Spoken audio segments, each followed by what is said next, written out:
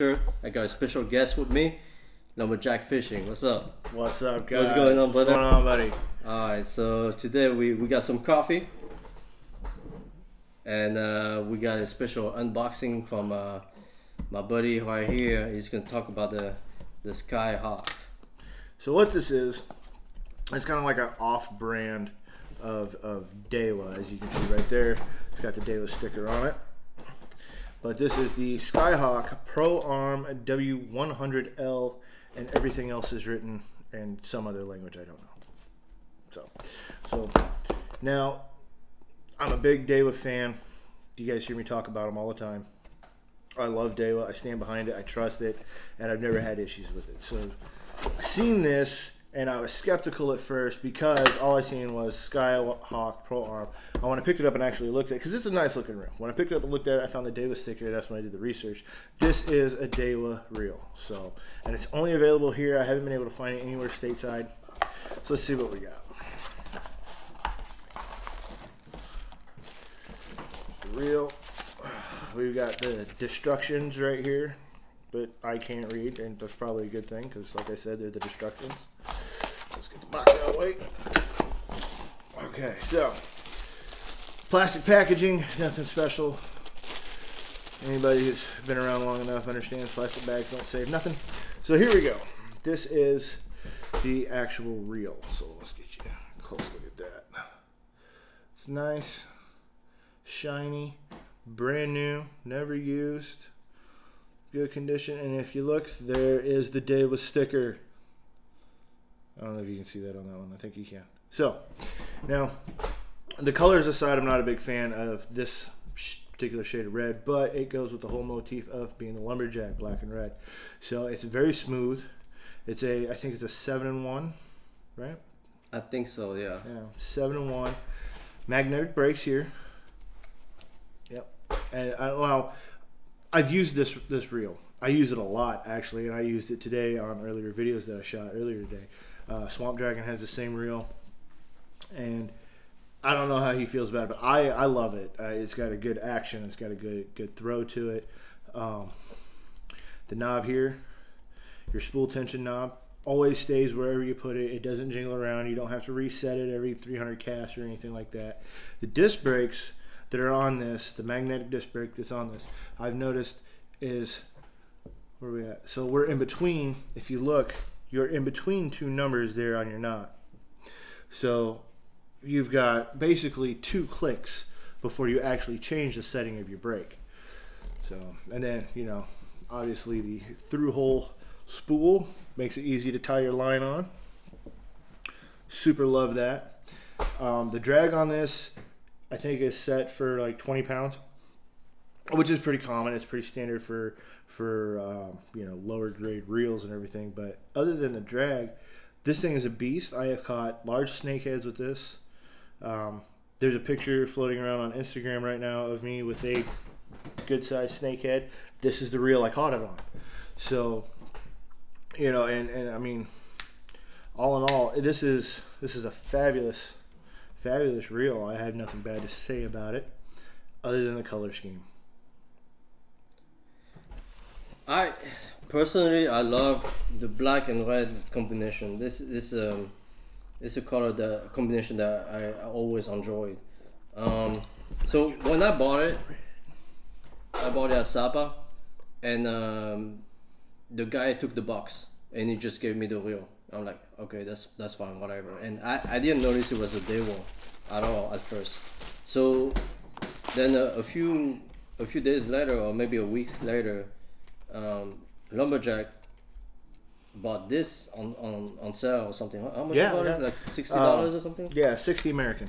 Yeah, sixty dollars American and whatever. And uh, we're talking to each other, right? He's like, "Yeah, I got this Daiwa, sixty dollars and whatever."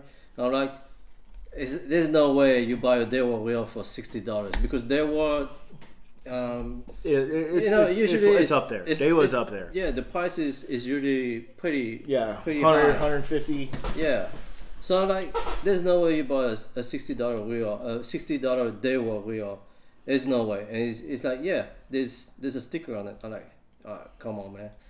And then he, got me curious, and I checked my wheel, and yeah, it has a Daiwa sticker on it, but so it's it's like okay, is it is it Daiwa or is it is it not? Is is it a fake or not? So I, I did some research and yeah, sure enough, it is it is a Daiwa reel. It is on their website and yeah, it's legit. And I, I like it. Uh, I don't have any really issues with it, but I I don't have braid on mine. I, I got mono, and I got like all kind of bird nests. So Yeah. So going from from his issues with the mono, I use you know forty to fifty five, sometimes sixty five pound braid always. Like that is my go to line, and this thing handles it like a dream. Like I've not had. I mean, yes, we we all bird nest from time to time, but I, I think I've got fifty two pound on mine right now, uh, multicolor, and I'm I'm casting little grubs like this, you know, clear across the lake with it, and not an issue. And that's at quarter ounce sinker, sometimes half ounce sinker, depending on how small my grub is. Like today, uh, some of the videos I shot today, I was using this this series of reel at the 50 with a 52 pound braid, and I had a quarter inch grub on a one aught hook with a half ounce sinker, and she just shot. There's no tomorrow. And even when I had my lipless crankbait on there, still just like there's no tomorrow. Now it doesn't have the the look at me sound that the the Shimano SLX DC has, but it's got it's, it's got a, a voice all its own when you cast it. So you'll hear the. I- I mean, it's not as pronounced as the Shimano. Let's say it that way. I mean, it's, it's got a good good ring to it when it casts, but it's not it's not that bzzz as you get from the Shimano. It's a little quieter, but you, you can still. I mean, it, it speaks to you when you cast. So uh, we got foam grips here, hardened EVA. Get a look at that. I mean, there's nothing really special about them, but when your hands are wet, because you're slaying fish like I do during the summer, when you're slaying fish like I do during the summer, uh, I mean these are these are great. So compared to everything else I've used in Korea, this has been by far my favorite reel for I'm gonna say last two years. In the last two years, this this has trumped everything that I have right now. So, and I've got a couple of Abu Garcia Max series, uh, some Lew's. You, you guys know I'm pretty loyal to Lew's, but when it comes to Daiwa, like that's my jam. And this right here, guys, you know, if you're if you're trying to ball on a budget, this is real for you. So, yeah. I mean, for the price, I think this is an excellent reel, and I with lumberjack, I think uh, I would recommend it to anybody that arrive here in Camp Humphreys, Korea. Uh, this is cheap, but it, it, it goes to work. It, it gets the job done. So, yeah, man, I, I think uh, I think it's it's a great deal. Yeah. Um. Yeah, I mean, for the price, you can expect uh, you can expect much more than this. I mean, it does the job. It, it is, yeah, it's a great wheel. Um. Oh, Yeah, go ahead. One thing I forgot to mention is it does have the door lock button right there on the side, on the bottom side of the reel. So now it hasn't happened to me yet, but I'm that guy that when I when I'm using a crawfish or if I'm shaking a worm, even if I'm just dancing a frog across the water, like I engulf the reel with my hand. That button, literally, the way I hold it sits right there between my fingers.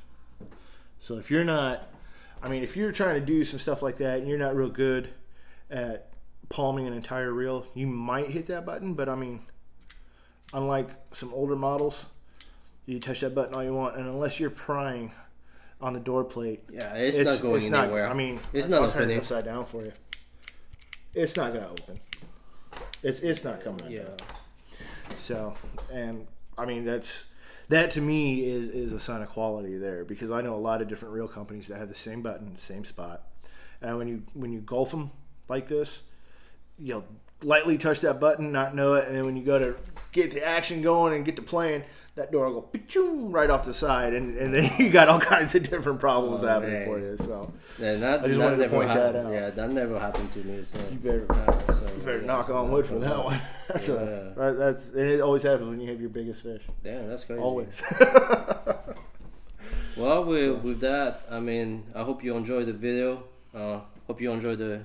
Yeah, I, I mean, I hope this was good time. informative, and it, it gives you a better perspective. Just because it doesn't, you know, have the laser engraving or anything from Daiwa, it is still a Daiwa reel. So there is quality in this little guy for for the the price point that it sets at. So I think here it was like just over, or just under, I should say, just under seventy thousand won, which is like sixty bucks at home. So do the math uh, for what it is, what you're getting. It's a good, it, it's good weight. I mean, it's not too heavy, obviously, but it's not super light either. Everything inside's metal. This is the beast. This is your your your low ball price point beast, and I hope that this has been informative enough for you to make an educated decision as to what it is you want to buy. So, guys, day with Skyhawk. Skyhawk Pro Arm. You gotta love it. Can't miss it. And honestly, since I've been here, I can't do without it. So, Lumberjack Fishing, Swamp Dragon. We out.